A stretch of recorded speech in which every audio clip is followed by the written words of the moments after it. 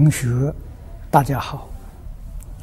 今天我们有缘在凤凰卫视的摄影棚里面，与大家介绍《了凡四训》这本书，是我在早年最初学佛的时候，朱金洲老居士介绍给我的。一九七七年，我在香港讲《楞严经》，在中华佛教图书馆看到印光大师流通的经论善书，我发现印老一生当中啊，对于《了凡四训》。《安世全书》感应篇汇编流通的数量最大，在那个时代，流通量将近三百多万册，这个数字让我感到非常的惊讶。印祖是佛门的大德，是晋宗一代的祖师，为什么不去流通？佛经，而流通啊这三样东西。于是，我认真、冷静的思维，这个里面一定有大道理在。那么到今天，我们在回想，才知道印祖他老人家的真实智慧，无尽的悲心。因为中国在这一个世纪之中，我们舍弃了传统的文化，啊，佛教也衰微到极处了。虽然如与佛是世间的正法、纯正之法，但是疏忽了。一设的时间太久了。如果再以如根佛来教化众生，至少要五十年到一百年的时间，才能够收到效果。因此，印祖啊，想想，决定采取因果的教育。那么说到因果的教育。最好的教材，确确实实就是这三样东西，啊，《了凡四训》《安世全书》《感应篇汇编》。我们体会得了，所以七七年我从香港再回到台湾，也极力提倡这三样东西。也讲过几遍，在那个时代，不但我们没有录像，连录音的设备我们也没有。那么今天，我们看到眼前整个世界社会动荡不安，越发觉得英国教育的重要性。我们无论是出家在家，能够以这个教学为基础，决定能得到殊胜的成就。了凡先生是明朝人，明朝是朱元璋建国的。年代是在公元一三六八年到一六四四年，崇祯亡国。如果再加上啊，父王、贵王、幕后这四王啊，那么总共啊，到这个一六六一年啊，他传了二十一代，享国两百九十四年。了凡先生出生在明世宗十四年，嘉靖十四年。明世宗是明朝第十二代的皇帝，啊，他算做的不错，啊，他在位呀四十五年。那个时候，政治相当清明，在我们佛门当中。也有一桩大事，啊，就是嘉靖大藏经。这是当时寒山大师，啊，就是德清和尚，他提倡编纂刊刻，成为方册本的藏经。这是个创举，因为佛经自传到中国以来。在这个嘉庆之前呢，佛经都是用的折本，啊，这个翻本折本。那么把它用穿线装订，我们今天讲的线装书，《嘉庆大藏经》啊，这算是创始，啊，所以我们称为方册大藏经啊，是从嘉靖年代开始的，这是很值得一提的。那么，在净土中，诸位啊，仰慕的莲池大师也是同时代的人。廖凡生在嘉庆啊十四年，那么与了凡先生同时有一个传奇的人物，就是于敬义先生。他比了凡先生大十岁。啊也就是他是嘉庆四年出生的，啊，了凡是嘉庆十四年，嘉庆四年呢是一五零零年，啊，不，这个是呃，是一一五二五年，嘉庆四年一五二五年，于金义先生的传奇通常都附录在《了凡四训》的后面。将来有机会，我再跟大家介绍。啊，廖凡先生名晃，字坤仪，他是江南吴县人。啊，那么在没有介绍四训之前，我们要先谈一谈印光大师在这本书的前面有一篇序文。这篇序文呢？非常重要。序文一开端，他说：“圣贤之道，在诚与明。”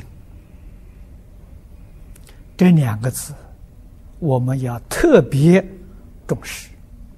诚就是真诚，真诚是一切众生的真心，是一切众生的本性。说一切众生，当然包括我们自己在内。一个人如果能够用真心、用本性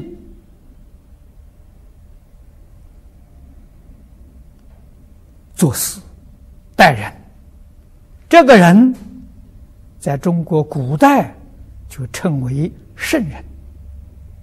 在佛家呢，就称之为佛菩萨。那由此可知，佛圣跟我们凡夫的差别，就是在用心不同啊。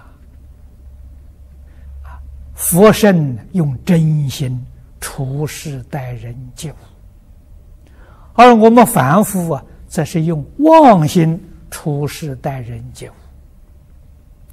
真心纯善，《三字经》头一句：“人之初，性本善。”呐，啊，所以佛在《大乘经》上常说：“一切众生本来成佛。”这个话说的有道理啊！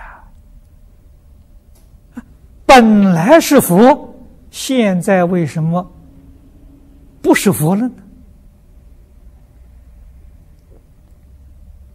这个话的意思，一切众生本来都是真心嘛，真心就叫佛，真心就叫圣嘛。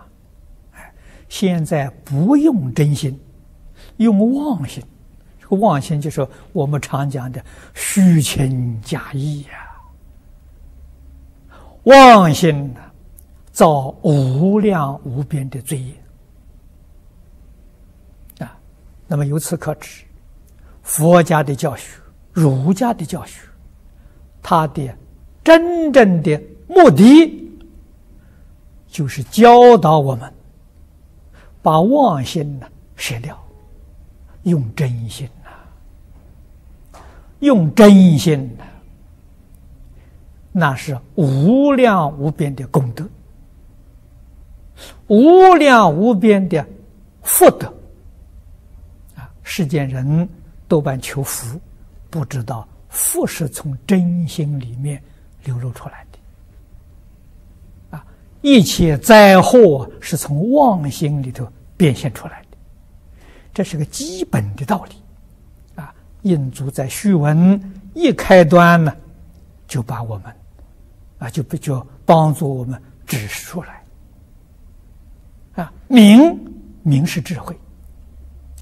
这种智慧，也是我们真心里面本来具有的，不是从外面来的啊。所以，如根佛的教学，确实有异曲同工之妙啊！啊，都是从沉静下手。一分沉静，你自自然然流露出一分智慧；十分沉静啊，你自然就流露十分智慧啊。对于宇宙人生的真相，过去、现在、未来，啊，我们一般人讲啊，超越时间，超越空间。这样的智慧的能，你就有了。这不是什么了不起的东西啊！啊，这种智慧的能，这是大圣大贤告诉我们：人人本具，个个不无。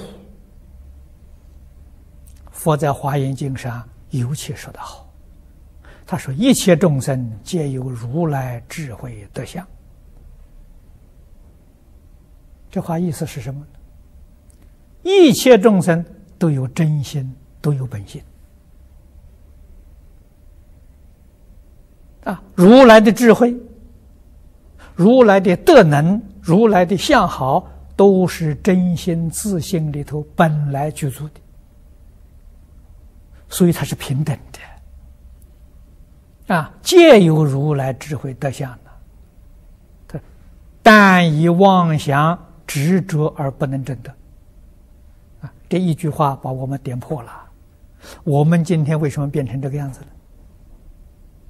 我们把本有的智慧、本名变成了无名，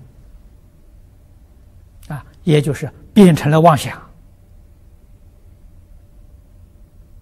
啊把我们的无量的德能变成了分别。啊，无量的相好啊变成了执着。啊，变成烦恼，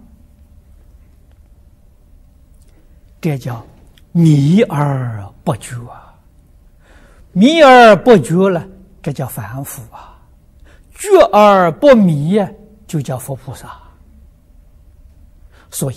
凡圣呢，就在一念之间啊！可是我们一般凡夫啊，迷得太久了，不是这一生一世啊！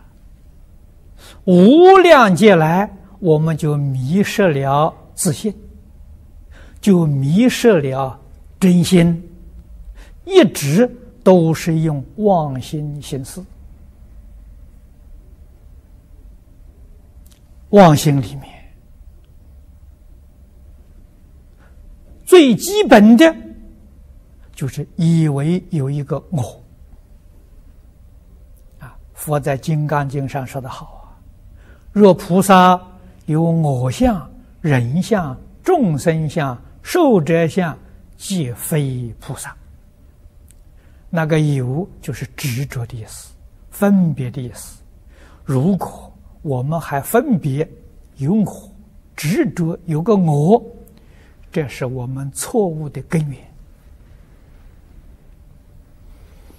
在佛家，无论是宗门教下，这些祖师大德教人用功，教人学习，啊，常说啊，从根本修，啊，修是修正，把错误的修正过来。这叫修啊！从根本修，根本是什么呢？根本就是执着我这个错误观念啊！每一个人都把这个身体执着生活，这个错了，大错特错啊！啊，我们从哪里迷啊？就从这个一念开始迷起，一迷就迷到底了，一错就错到底了，永远没有办法回头。永远没有办法改正，我们不能不知道啊！如果把这一关参透了，从这个地方下手，那是轻而易举啊！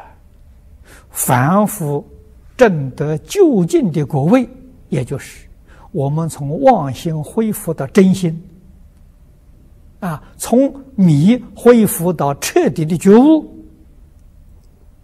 不需要很长时间啊！佛经上常讲啊，三大阿僧祇劫、无量阿僧祇劫，哪需要那么长啊？不需要啊！一生当中就可以成就，这都是实话。在华严经上，善财童子五十三参。给我们做出了榜样，《法华经》上龙女给我们做出了榜样。关键就是在能不能从根本上修正，根本上修正。我常常教导学生。劝勉年轻的法师们，要把自私自利放下了，放下自私自利，放下名闻利养，放下五欲六尘，放下贪嗔痴慢，菩提道上。就一帆风顺了！我们看到，自古至今，修行的人很多，他们不是不用功，不是不努力，啊，用许许多多的时间，许多的精神，一生得不到成就。原因在哪里呢？我没放下，起心动念还是自私自利呀。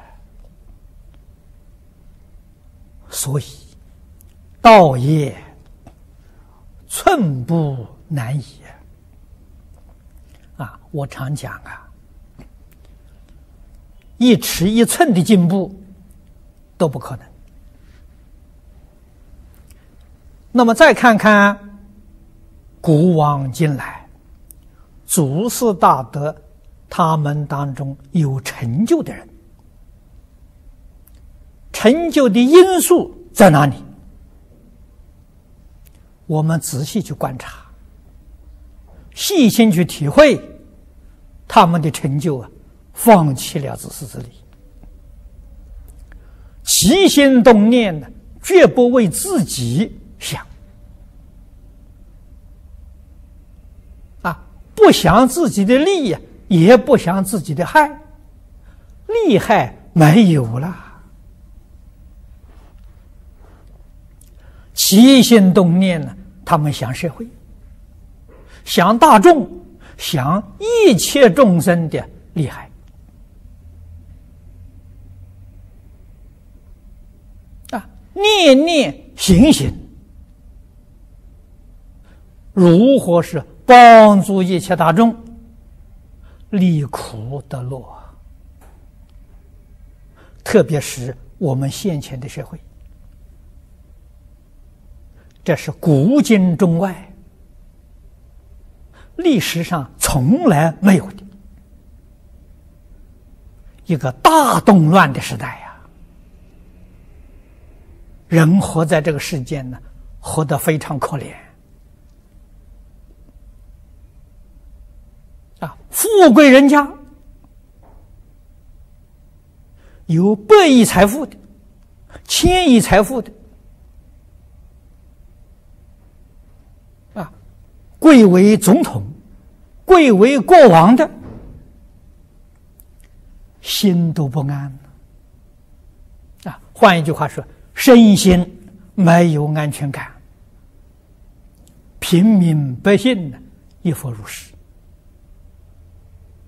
啊！这种情形，自古以来没听说过。书籍里头从来没有这样的记载。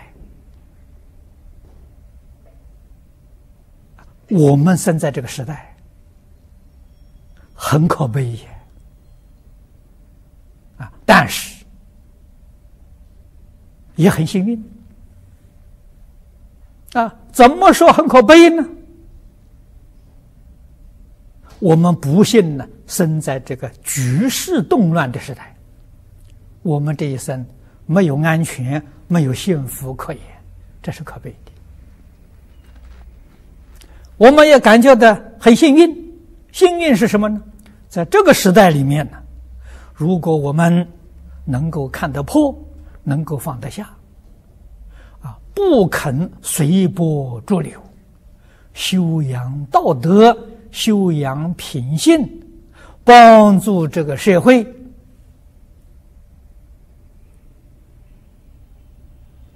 建功立业了，这是大好机会呀！啊，佛家讲啊，无量无边的功德，只要我们体会的，只要我们明白了，认真肯做，啊，怎么个做法呢？印足指示我们一条道路，指出我们一个正确的方向。从《了凡四训》做起呀！啊，所以我们读这四篇文章，我们把这四篇文章当做古文来读，当做功课来做，字字句句细心。去研究，去观察，怎样落实到自己的生活上，落实到自己的思想行为上，我们就得受用了。啊，从这个基础再入佛门，必定能够收到。事半功倍之效啊！啊，我学佛能够有这一点成就，实在是非常幸运啊！我第一本书就是念的《了凡四训》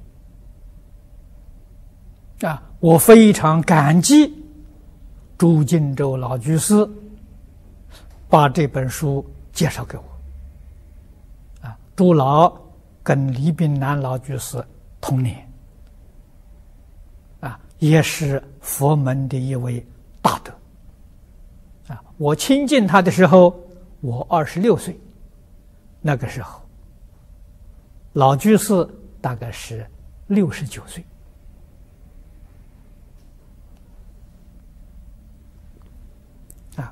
那么这段话我简单跟大家介绍到此地，然后啊，我们就可以看这篇文了，啊，看《了凡四训》的文。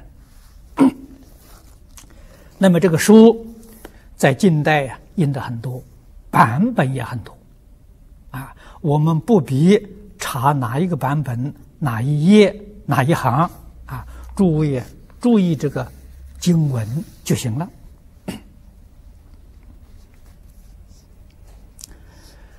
他这个文呢，一共分为四篇，啊，第一篇呢，立命之学。立命的意思，说明人有没有命运？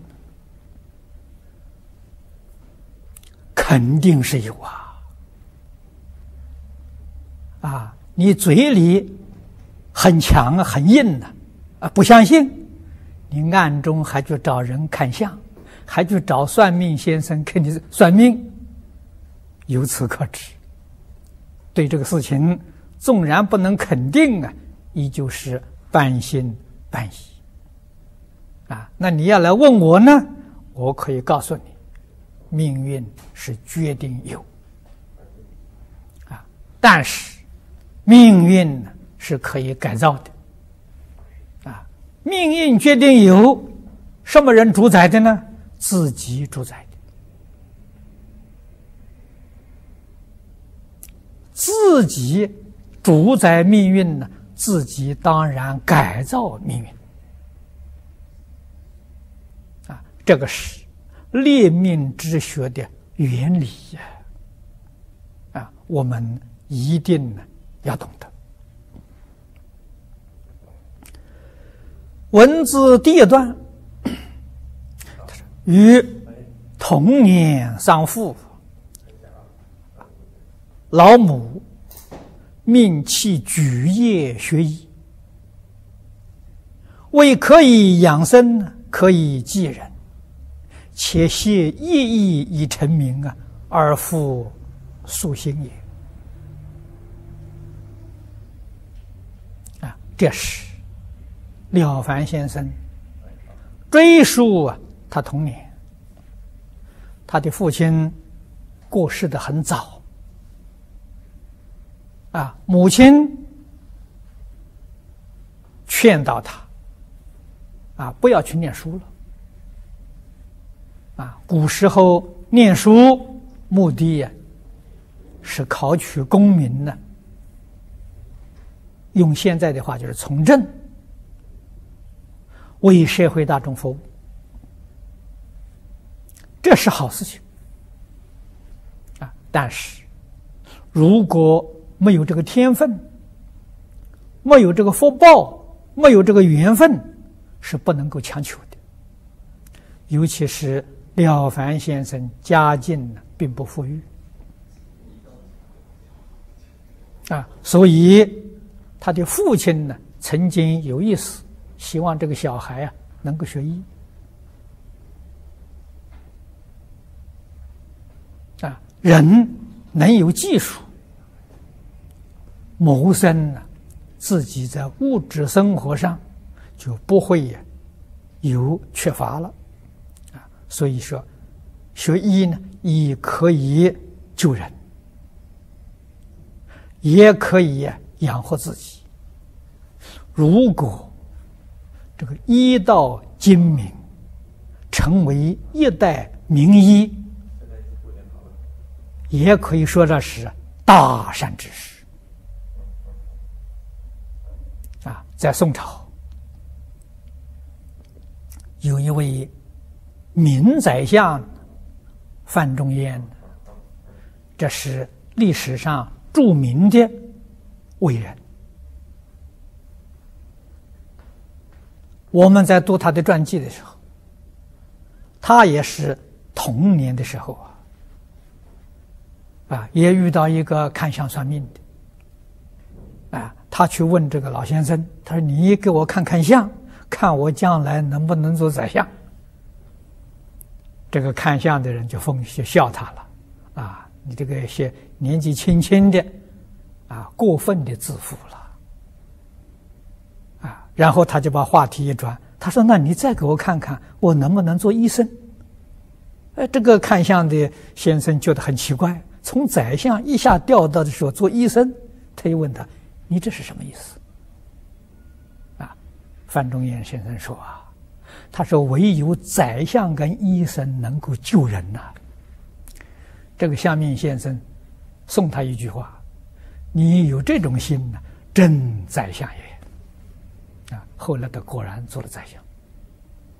啊，所以由此可知啊，从小立志啊，是以救天下为己任。啊，所以他一生能够好学。能够奋发，能够努力，啊，目标不是为自己，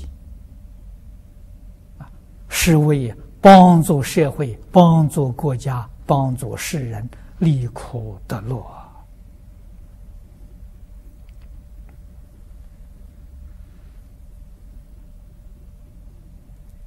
那么，从这个历史的故事。我们就能体会到，啊，过去人读书，所以读书志在圣贤。啊，什么叫圣？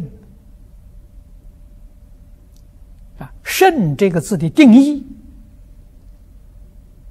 是明了的意思，对于宇宙人生的真相，对于因果的道理，通达明了啊。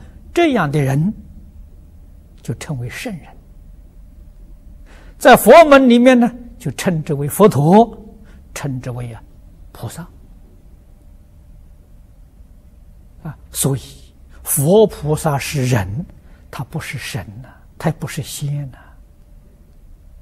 啊，要用现在的话来说呢，他是个明白人啊。佛菩萨、圣人、贤人。可以说是个明白人，我们一般人呢，凡夫呢，凡夫是个糊涂人，啊，对于宇宙人生真相啊，不清楚不明了，啊，则称之为凡夫啊，啊，佛跟众生的差别就在此地，啊，所以佛劝导众生要学做佛，学做佛，那用现在话就。学做个明白人，不要做个糊涂人。意思就在此地。那么接着他说：“ 他说后啊，欲在慈云寺，欲以老者修然为貌，飘飘若仙，欲离尽之。”啊，这就后来他在慈云寺遇到一位老人。这一年，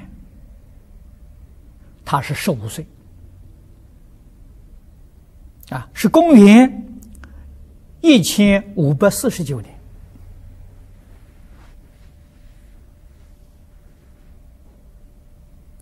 那么由此可知，他的父亲呢，死的确实是很早，啊，母亲劝他学医。我们想想，十五岁，那是学做学徒啊，啊，他是跟这个呃医生或者是这个这个药铺里头啊做学徒，啊，十五岁呀遇到孔先生，啊，他的文字写的也非常之美，啊，慈云寺，我们也要介绍一下啊。这个寺到底在哪个地方？没有办法考察了，啊！佛家的道场，用这个名称的很多。我们在台湾台中有慈云寺，在美国有慈云寺，在纽西兰有慈云寺，啊，可见得用这个名称的人很多。那么，首先呢，什么叫做寺？我们要把这个名词术语多少要有一个正确的概念。啊，寺是古代朝廷的宫廷里面办事的机关，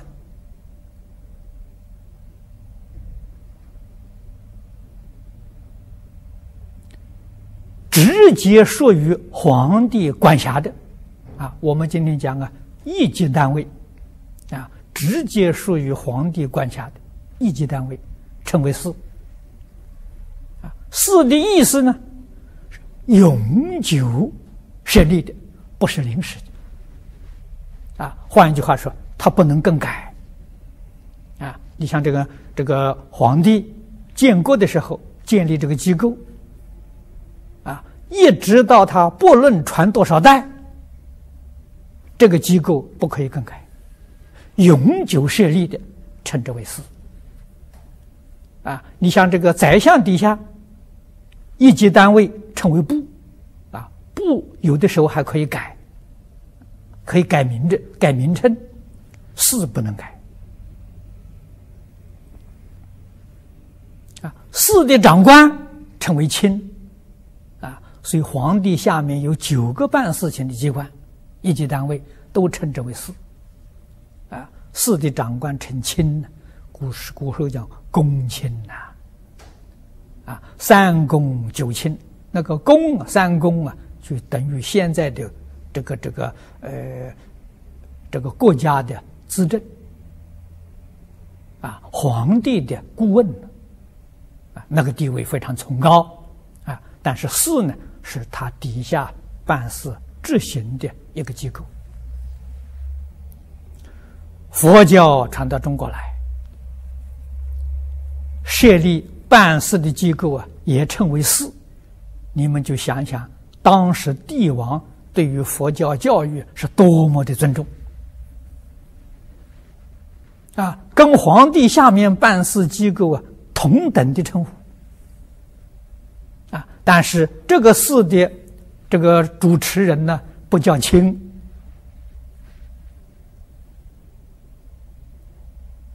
啊，叫方丈。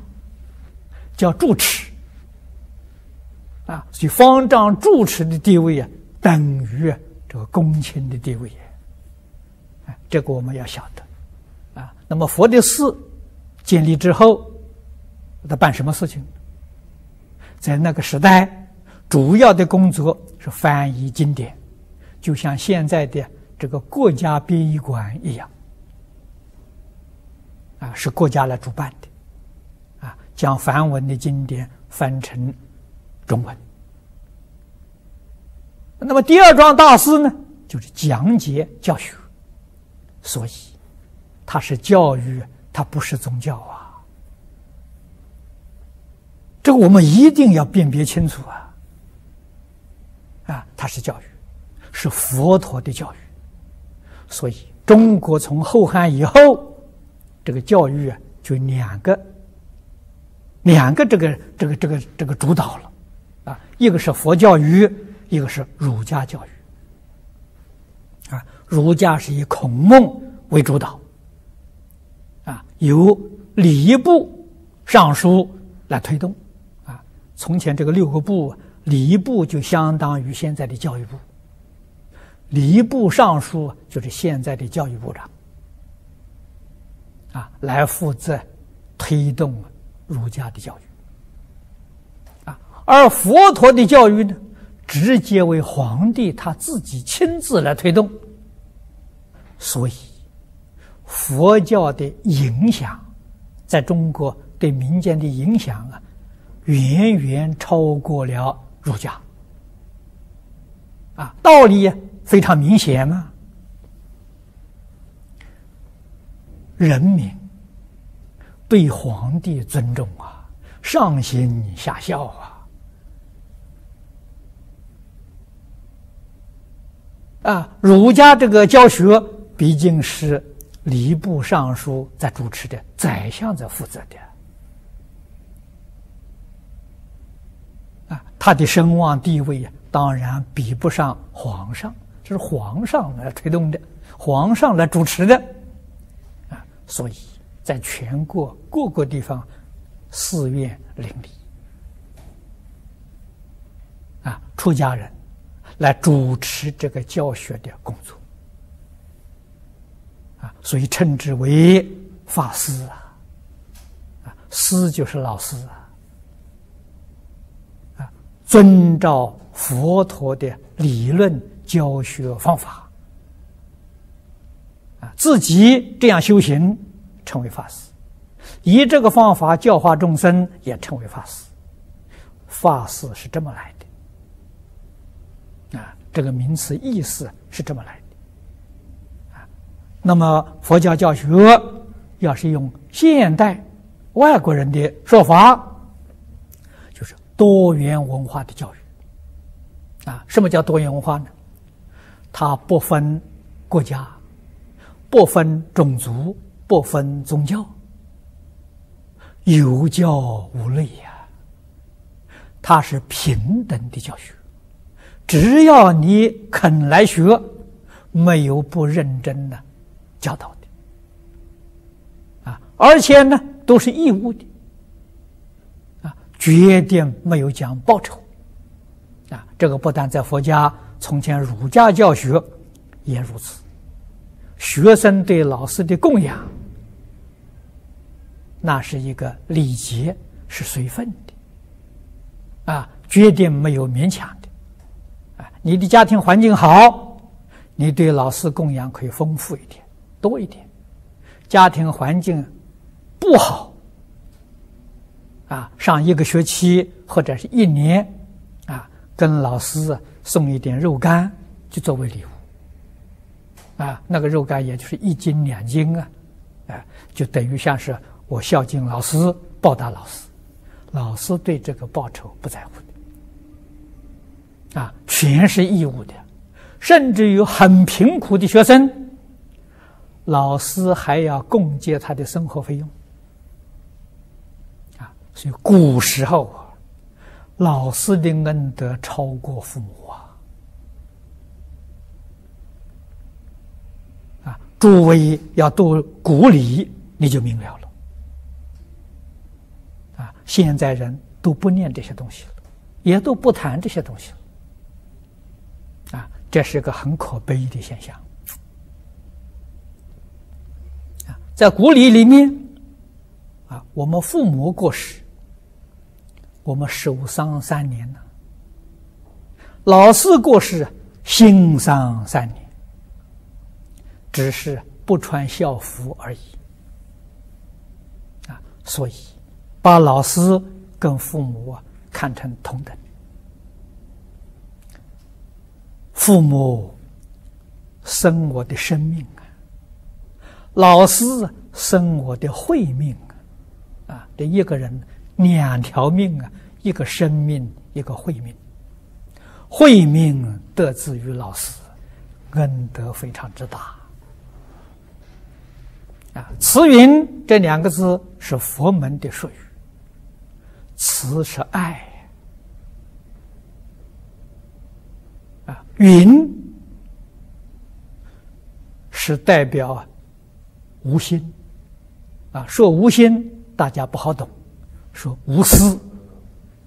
啊，没有私心的这种大爱，真诚的爱心，清净的爱心，平等的爱心，爱护一切众生。慈云是比喻这个意思，比喻佛陀的教诲，比喻佛教的。教学啊，那么在此地顺便把这个佛的寺之来源啊，名称的意义，给诸位做个简略的介绍，大家千万不要误会。啊，但是现在的佛教寺寺院变质了。啊，从前寺院都是教学的场所，中国古代的读书人，古代学校少。啊，学校都是公立的，大多数读书人到哪里去读书呢？到佛教寺院。佛教寺院的藏经楼就是现在的图书馆。啊，不仅是佛教典籍，啊，他收集的非常广泛。啊，在中国过去所谓是诸子百家、三教九流的典籍都收藏，内容非常丰富。出家人都是有学有修的学者啊，所以住在寺院里，可以利用他的藏书，也可以向出家人请教啊。这在中国历史上，诸位都能够看到的啊。读书人都借寺庙啊。那么他在这个。慈云寺遇到了这位道长，啊，这个孔道长，啊，看到孔道长道貌岸然，很难得了，哎，他才十五岁呀，啊，他看到之后啊，对老这个老老人呢，就能够生恭敬心。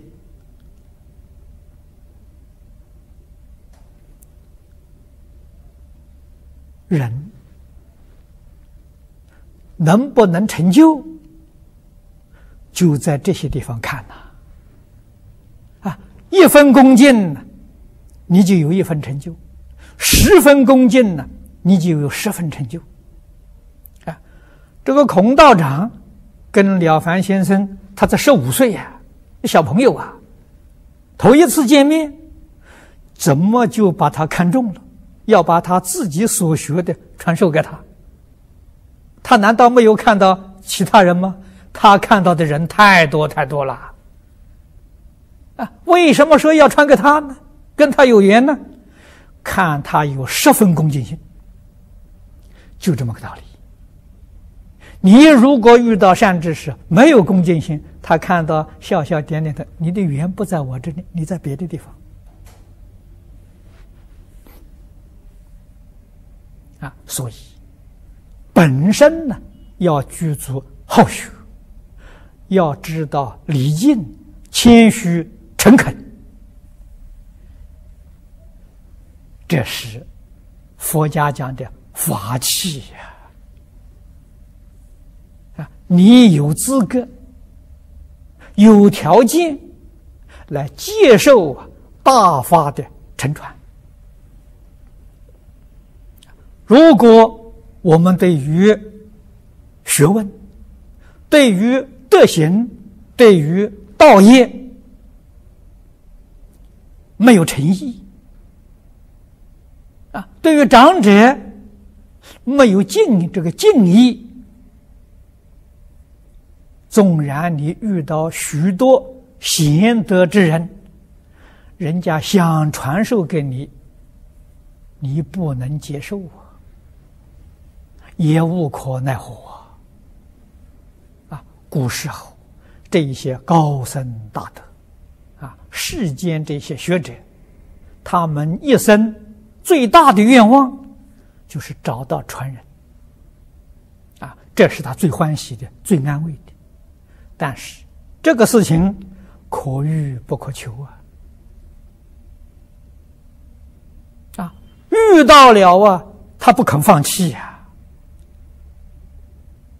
啊我们今天许多人说啊，我啊运气不好，一生当中没有遇到好老师啊，这个话不可以说，啊，应当回头想想，自己对于真正的好老师缺乏恭敬，缺乏诚意，不是没有好老师，啊，而是自己不具足条件，这么一个缘故。啊，所以我们自己要清楚要明了。啊，我这一生能学到一点成就啊，也就是年轻的时候具足这样的条件。啊，所以我认识张家大师，认识方东美先生，认识李炳南老居士。